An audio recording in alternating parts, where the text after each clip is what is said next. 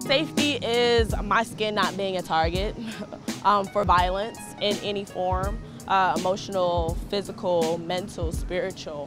Um, safety is our, my black spaces in my community um, being respected uh, and kept safe um, and a place for healing uh, from all the trauma that I go through on a daily basis.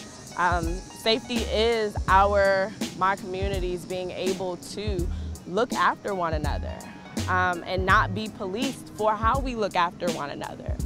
Um, and to me, ultimately, that encompasses everything about what safety is to me.